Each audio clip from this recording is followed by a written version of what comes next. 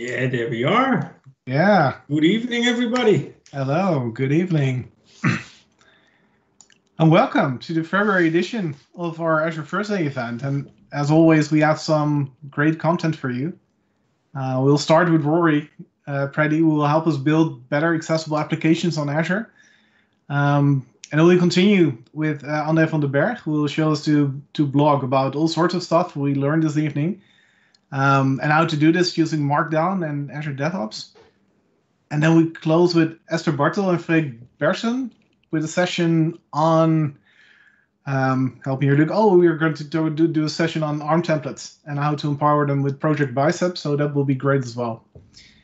Um, so again, if you have any questions for our speakers in the chat, we'll try to cover as many at the end of the session. And Rory was also willing uh, to answer them during the session. He just told us. So if you have any questions, that just uh, put them in the chat, and we'll make sure we we ask our speakers. Um, and I'm not forgetting anything, right, Luke? So no, I, I think, think, we uh, can get Rory in here. So Rory, are you here? I am here and ready. Perfect. Rory is a senior cloud advocate at Microsoft, and I'm not going to ruin your entire intro slide because I have a tendency to do that to every of our speakers. Um, so I'm not going to do that, but you're going to talk about uh, programming for accessibility. And as a developer, I'm a C Sharp developer. We're getting, hopefully, we're getting more and more aware on, on, on possible lingering issues around accessibility and trying to do our best and also be in an accessible user group. Um, we just try and we hope we will get to try even harder after your session. But what was your personal driver to do a session on this very important issue? I didn't want to get into teary-eyed mode already, but um, Sorry. so no, no, it's all right. I think it's important because it also makes the audience understand that this is dear to me. So I've had about seven or eight back operations. So I, I am a, dwarf, a dwarf, achondroplasia, and I've had seven or eight back operations. And I remember sitting in a, a, a hospital. I was on a ventilator and, and learning to breathe and walk again. And I said to myself, you know, this has to be for a reason. This has to be for a purpose. And that that mindset, that idea that um, the my experiences would drive me into being able to evangelize, doing more for other people and empowering them, has actually uh, uh, kept with me all of these years, though. And every time that it gets tough, and every time I have to uh, put in a little bit more effort, I think of uh, that moment and I say to myself, "Make it count." And that's really what you the the the core of accessibility is to make that experience count for the people that use your systems. Wow, such a great answer. It's such a personal driver, and thank you for sharing because that's very personal. So thank you. Um, and I I think we we're out of questions for now. So again, if you have any questions, put them in the chat, and the floor is yours. Great. I'm going to share my screen because I have some really great content to share with you. Um, you can see my screen? Yes. Okay, there we yes. go. A nice little clicker here. As part of my midlife crisis, I bought myself a lot of nice toys. And you'll see my midlife crisis car coming up. Um, so you can follow me at, at Rory Preddy. Uh, I try to do uh, some memes. I try to do uh, accessibility updates, and I'm hopelessly in love with Java uh, all these years for the, the last 20 years. So uh, we do a lot of uh, Azure and Java updates. Um, okay, so let's get started. Let's go back there. Okay, so my midlife crisis, my car, with my car pedals. Now, um, these have only failed me once, and um, and and this is really the the, the story, the narrative I want to uh, say to you is because um, you can see there there's a bolt on. So they I actually bolted them on there. And this is similar to a lot of other things that I find myself getting into because I bolt on things. And historically, um, you you find that people with uh, who are differently abled um, really bolt on to get around that. You can see here, here I am getting coffee um, and uh, you know, this Ethiopian decaf. It's a, that's a horrible picture when you have Ethiopian decaf there. Decaf should have never been invented. It's like skim milk. You know, it's either milk or skim. You, you don't do one or the other. And um, the problem with bolt-on is that you really you you waken the hydra. And the hydra is a mythical creature that when you chop the one uh, head off then the other head grows up. And uh, and that is the bug hydra. Because when you look at accessibility and software when you chop the one head of the uh, accessible hydra off then it kind of comes up there. Because looking at accessibility as bolt-on never works. Because it's it's it's part of the process. And this is this the story of what uh, I want to uh, tell you because I want to try uh, pop your empathy bubble. Sounds a little bit weird when I say that, but you all live in an empathy bubble, and um, I know this because you're not me and I'm not you and you can't be me because you you when you look at uh, uh, my experiences and your experiences they differ. And it's just the nature of being human though. And uh, how do we get out of those bubbles? Because if you don't get out of those bubbles then you're going to design for accessibility but you, you ain't going to know that that over there is almost impossible. And i remember um, I, when learning to walk uh, I had uh, about a one centimeter gap that I had to get uh, over. And I looked at that gap and I realized that no one had actually catered for that. And so let's start uh, with a plan a plan on how we can actually get you more uh, accessible. So, first, I'm going to define or undefine accessibility. Then I'm going to understand your organization's unique accessibility motivators, and I'm going to show you the difference between a stick and a carrot. I'm going to set achievable interim milestones and then tools. And finally, measure, improve, and automate. So let's start with uh, what is accessibility. And when you remember the bolt-on, accessibility isn't bolt-on. So accessibility is the design of products, services, and environments so that everyone, including people with disabilities, can fully experience them. And we at Microsoft believe that inclusive product design with compliance with productivity leads to innovation. When you look at the world um, without those uh, rose colored glasses, you start to look at the world differently. And you realize that uh, accessibility is innovation. And I'm going to show you how uh, through this process and lead you on the, the path of innovation. We need to discuss disability. Uh, the world the word doesn't exist now when you go to the doctor and you're not you're not feeling too good and you say oh doc I, am I'm feeling a little bit um, under the weather he goes i think you've got the disability the only time that you feel disabled is when you have uh, mismatched human interaction. And I know this. As part of my midlife crisis, I bought one of those BMI scales. I got onto it. I, I put my weight uh, at the time, 65 kilos. I've lost 15 kilos. Uh, I'm 50 kilos, whoop whoop for me. And then I put my height, four foot one or 120 centimeters, and it had a crawling baby and a very tall man. I thought, hmm, I'm not really that tall. I'm going to put the baby. And I got on, it, it did its little calculation, and then it, it called me horrible names. And I was thinking, what what I I really feel disabled right now, and I was thinking, you know, like into a smoky room uh, dis, uh, kind of design session about someone designing that scale, and they they weren't really designing for people uh, who weren't them, and I felt disabled, and I, I remember that moment. Then I said.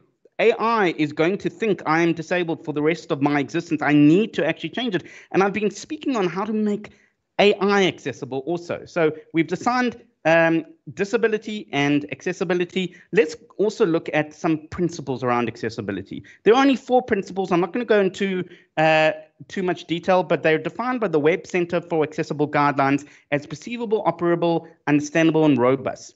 Perceivable, can you see it? So that's visual impaired or the silver generation, so people over the age of 65, and they, they need uh, help to be able to see certain things. And I know I'm uh, getting to that age because I need glasses now. So perceivable, can you see it? Operable, can you use it? If you don't have fully use of your arms, you're an amputee, you want to be able to operate your, uh, your systems with a design principle. Uh, understandable? Can you understand it? And what we're seeing also now with WCAG, um, the Web Center for Accessible Guidelines, is that they've also included recently in understandable ADHD, autism spectrum, because the last thing you want to do is make your system not being able to use um, or stressful.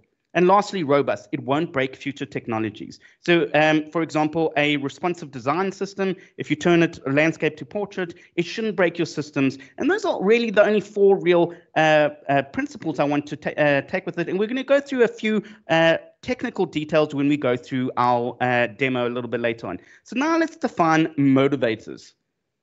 First of all, uh, a stick legislation, and uh, we have the US 21st Century Integrated Digital Experience Act and the EU Parliament Directive on Digital Accessibility that says if you're not WCAG 2.1 AA compliant, then like Canada, you will get a $100,000 fine per day for civil facing websites. And, you know, at Microsoft, uh, we're also kind of seeing that because we want to kind of get ahead of the curve. So everything we kind of do now is accessible. You go to Microsoft.com, you go to the Office sites, you even go to Azure. It's all accessible because we we see that the stick is coming there, and we don't want to be uh, bedonderd. Uh, that's an Afrikaans word for uh, hit really hard.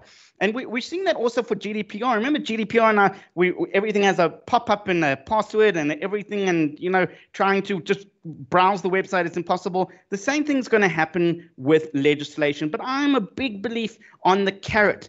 Um, and it's summed up um, with the quality of life quote by Bill Gates. For most of human history, we put our innovative capacity in improving the quantity of life because we're living longer, our focus is starting to shift towards improving the quality of life. We're becoming uh, altruistic. We want to improve uh, people's lives. So now we've defined that now we can also see wait a second i want to take the altruistic approach and i want to become aware of people's difficulties i want to go from pity to sympathy to empathy and to compassion but how do i do that how do i improve my emotional engagement and you do that by becoming those people by stepping out of your empathy bubble and you use persona spectrums, uh, Claudia, Ashley, and Ron. So Ron's an 82-year-old retired, multiple conditions, arthritis, losing his hearing, uh, might have visual uh, impairment also. You take Ron and then you build uh, around your system. So you go and you test these systems. Now you can go and get those labs, alphagov.github.io, uh, accessibility personas, um, and uh, you, you start to realize, wait a second, um, the uh, bubble that I was in, I, I can actually uh, pop it because I can become these people. And you start to look at inclusive design. Now, inclusive design is recognize exclusion. Understand that you're excluding Ron. Then, once you do that, you can solve for one, extend to many. I'm going to give you an example very soon on how to do that. And finally, learn from diversity. Have diverse teams. Learn, understand how and why you're limited by your bias and also your uh, using your persona spectrum. So let's take a persona spectrum. Um, this is a very common one, and this is an amputee, so someone who has uh, limited uh, use of their arms or uh, an, no uh, arm. And um, we have uh, on the top here someone who is, wait, there we go, someone who has one arm. Then we have an arm injury. So someone who might be like me, use the mouse way too often. You can see I've got my nice trackpad and my, my and, and then we have a new parent. And I know what you're saying. Rory, new parents I really don't have a disability, but I promise you, you've been a parent. You're financially sleep deprived. Um, you know, stressed. You you you're really not able to use a, your full body. Then, now, if you go to your manager your business partner, your customers, and you say, I want to design a system for like an amputee for the one-armed person. Now, the US Center for Statistics says that only 26,000 people actually have an amputee in America, but the temporary disabled people, uh, motorcycle accident or uh, arm injury, 13 million. Situational dependency, uh, uh um, situational uh, uh, accessible issues, 8 million. So in total, 21 million people. So now we've solved for one, extended to many. Now, when you take people with accessible, accessible needs in the world, there are 1 billion people. Now, the people who are vested interest in those people, friends, families, loved ones, 3 billion people. That's half the world nearly that needs accessible software. Now you can see exactly how you can uh, extend this and, and why this is important because now you can be innovative. You can approach these people. Uh, the silver generation, people over 65, it's a $1 trillion industry that you're not catering for. We take our persona spectrums, we superimpose them on our, our journey. So we've got registration, navigation, and checkout. These are ticketing uh, buying systems back when airlines were safe, actually. Site landing, preferences, registration, help logins, add to cart, search flights, help, checkout ticketing, and then experience on a survey. Um, so we superimpose it there and everything changes. We've changed the way that we, uh, we look at innovation. Responsive design for uh, site landing, capture for registration, font and color options, um, accessibility help, single sign-on, callback help, one button access, Um, and then right at the end, my, my favorite AI adjustment. AI will become aware of your issues. And I know this because I did a talk on how to make Alexa more accessible. Because I, I, noticed that when I screamed at Alexa, it never really understood I was angry. So I taught an AI emotion. You can, um, I taught it sarcasm actually, because it's the hardest emotion to understand. And if you go into Cortana or Siri or Alexa, right now they understand emotion because they have emotional teams in the background adjusting their entire experience um, according to your uh, emotion and your accessibility. So we already see now solve one, extend to many, and AI adjustment. Automate, automate. Let's look at milestones now. So yes, bolt on right at the end. We must become accessible. When the shippable project had uh, gone out and we deploy the system, ain't gonna happen. So shift left. So I'm not going to jump out there because I think my, my headphones will get caught though. But traditionally, we've seen a huge movement from software development and we're shifting left to be able to bring in smaller investments to make the shippable project product really more accessible. So you've got accessibility uh, not bolted on right at the end, but towards the entire process um, of uh, your design process. Now, let's see how you can actually get this done with the, the whole reason that you're here is tools. Introducing the open source accessibility insights. Now we've partnered with Deque Labs. They, they make a really nice rules engine. And we said, okay, great. Let's now build this into everything because at the core of it, Microsoft wants to be accessible for themselves. So when we delivered Office and, and uh, Microsoft.com, we made it accessible and we open sourced it and we open source accessibility insights for web uh, for Windows, Android, CI/CD, and uh, for uh, Azure DevOps and GitHub Actions. You can get them all on accessibilityinsights.io. And what actually does it do? Now, Accessibility Insights is a, a check that you can check throughout your entire development process to make sure that you're accessible. And it uses WCAG 2.1 AA compliance. And I'm going to do a demo for you now.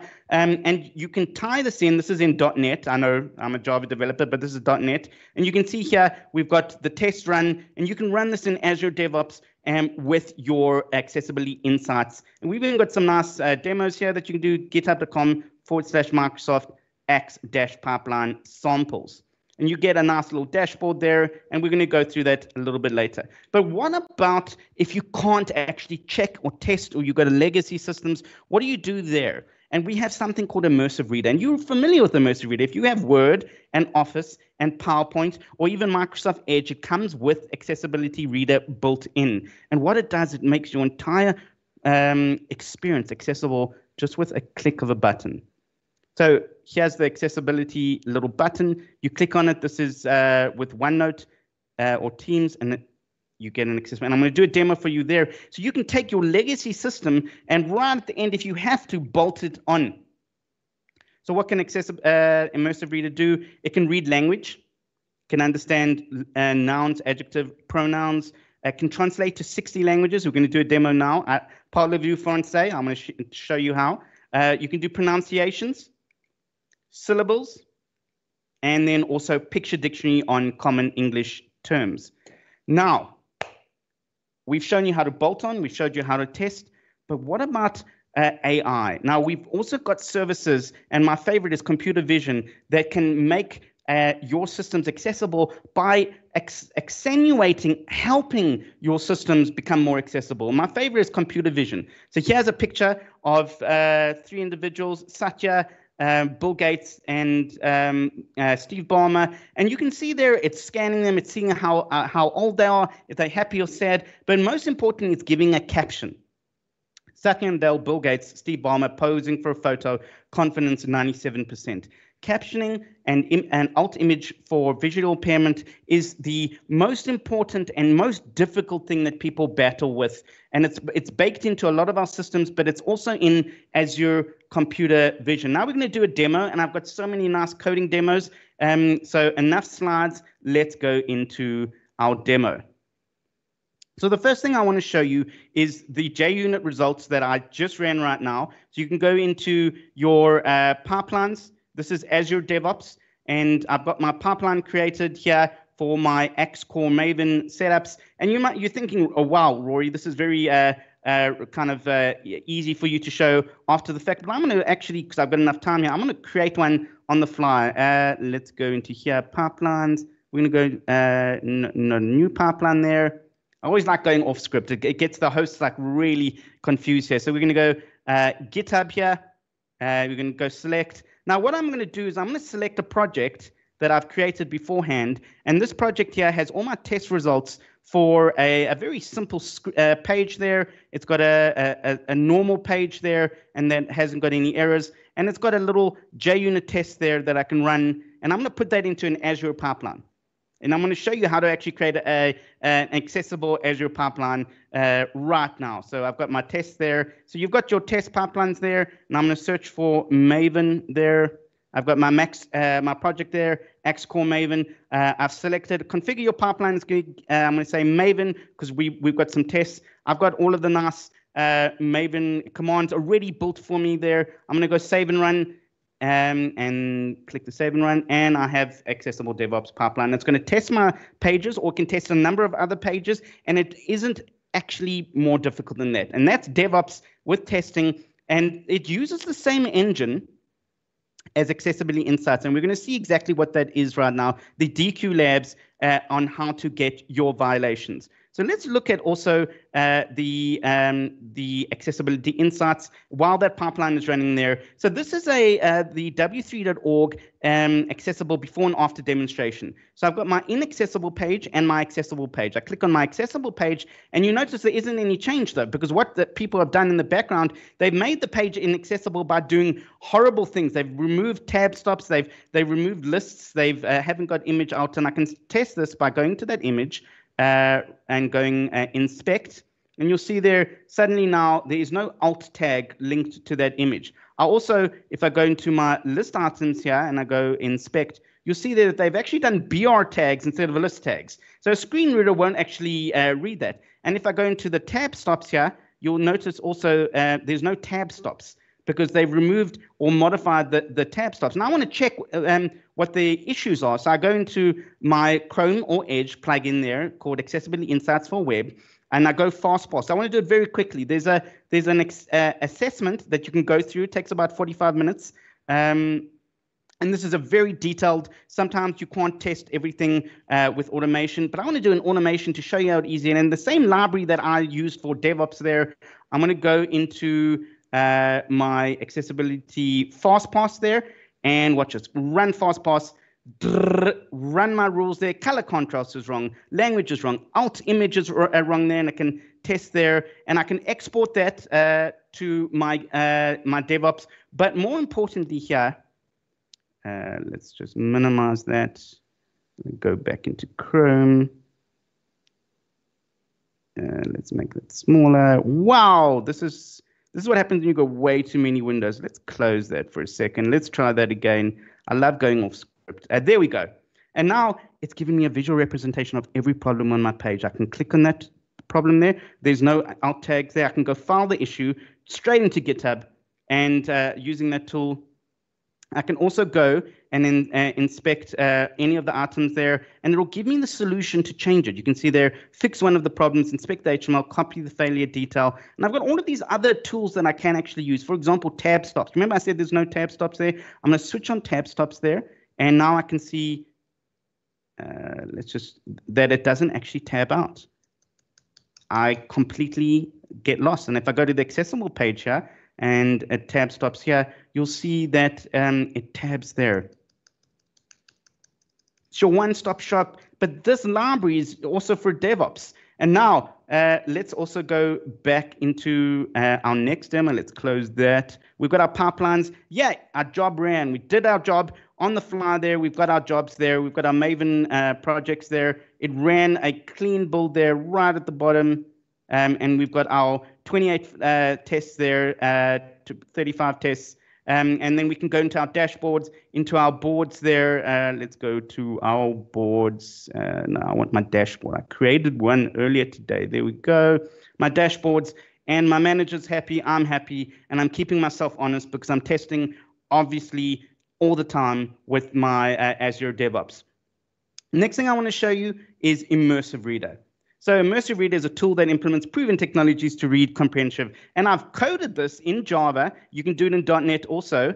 Um, uh, let's go here. Uh, sorry, I'm clicking way too many screens here. I want to go into my uh, Visual Studio Code, and I want to go into my uh, Java. Yeah, there we go into Immersive Reader. Now, Immersive Reader, I've got my token and it's running on, um, wait, let me just get you guys back there. I've lost the Teams uh, Thursday. I've got my uh, Azure Thursday there. You've got beautiful face there, Deben. Um, and I want to go back here and I want my immersive reader. So I've got my immersive reader. I've got my cognitive service there. I've set it up. It's it's simple. It's first. It's free for the um, the first million characters, and then three cents for every other million characters. Um, and then I've just got a little bit of JavaScript here that says get the token uh, to authenticate, and then pop up the immersive reader, launch immersive reader. And I've got my text here. I want to do that page in uh, what what language uh, would you like to meet? German. Choose a language. Dutch, German. Let's do German. So I'm going to go back to immersive reader, and now I'm going to make this entire page uh, accessible by clicking that little button there, JavaScript, and it's coming up there, and now I can read it. Immersive Reader is a tool that implements proven tech. I can also go in and change it uh, for uh, line items here, include the grammar, I can include the uh, line focus, picture dictionary, and now I'm going to change the language here uh, to uh, German, Germany, the entire document and that took me three seconds. Das bewährte Techniken implementiert, um das Leseverständnis für neu aufkommende and that is immersive read and it's so powerful because it, it's just you can just bolt it on at the end of it so you there is no excuse not to create accessible software i've shown you devops i've shown you uh, um, uh, accessible uh, insights and now with immersive reader and the final thing i want to show you is the um, the captioning bot now interestingly enough we entered a caption a captioning competition called no caps and uh, it's run by Facebook. And it says, "Can you beat human readable captioning?" And uh, it's not as easy as you think. So let's take this person here. Uh, caption that though. So for me, it's a a guy wearing a, a red uh, a baseball cap, um, and he's hit a ball, and he's in a baseball field. But that's way too much information. I'm being uh, uh, and it might, might not be ready. So I'm going to click on it, and I'm going to see exactly what the right caption is though the analyze the image and it says, I think it's a baseball player preparing to swing a bat. That is better than a human being. And also, I'm going to train it now. How well did I do? Very well. And we know this is better for a human being because we're still part of that competition. Now, what we did is we took image recognition and linguistics and trained them over each other to create linguistic image captioning for novel captioning. And this is available in computer vision um, with uh, Azure Cognitive Services. Also, free for the first thousand tries. Sorry, million images. It's it's insanely free. And uh, let's try another one quickly. So I'm going to take a, another one here. Oh yes, uh, I'm I'm uh, a sandwich. It looks like a, a grilled cheese sandwich with ham or something like that. Um, and uh, it's got some sesame seeds and uh, some cheese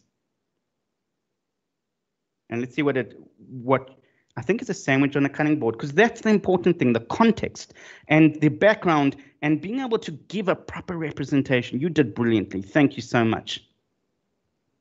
And that's everything I wanted to kind of show you today. Um, let's go back to our slides here. And now I want to enable you to uh, play from current slides to go forward in this and to challenge you. Conclusion empathy, how to create it with your persona spectrums, become that person. Solve for one, extend to many. Shift left, take your systems, test in the beginning, test at the end, test forever that you want.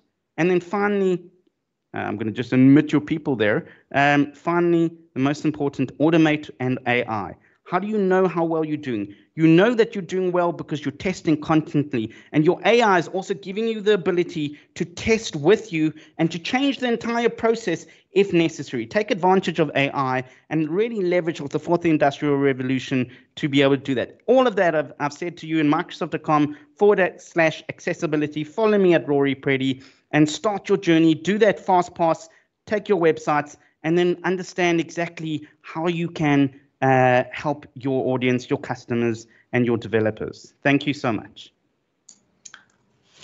Wow, thank you, Roy. This is such an amazing session.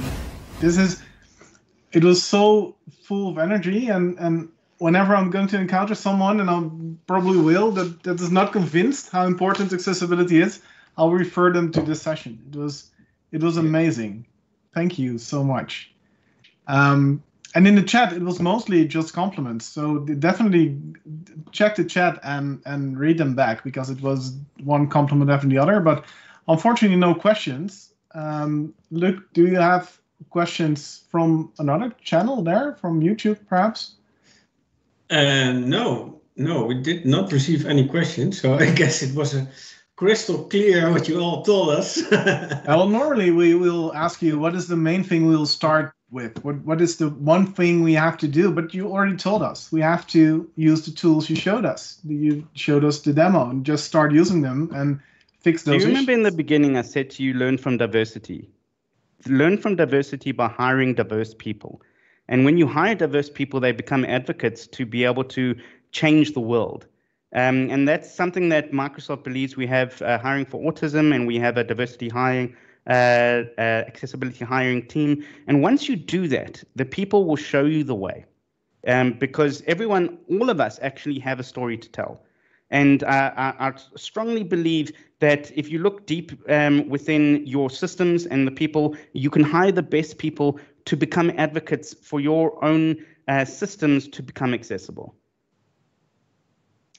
Best advice, I think. Thank you so much. So, any last minute questions? I'm just going to just look at the chat. At the... Still not anything. Well, we had a lot of viewers, so it was just was a very clear presentation with the best advice ever. So thank you so much. Thank you so much thank for you for me. being here. Yeah, thank you very much. Cool. Well, let's move on to the second section then. Yeah, Luke, I'm not sure. I, am I'm, I'm seeing the the, the, the, the videos running, so I'm not really oh. sure if what everyone's seeing, but I yeah. think we have a small break, right? Video.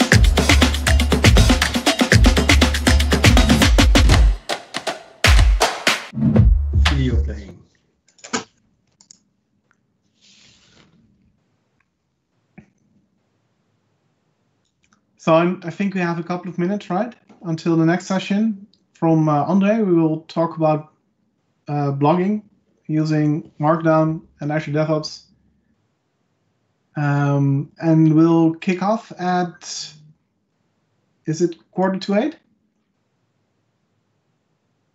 If we follow the schedule, it will. Yeah, well, we, we most definitely will. So we'll be back in a couple of minutes with uh, with Andre.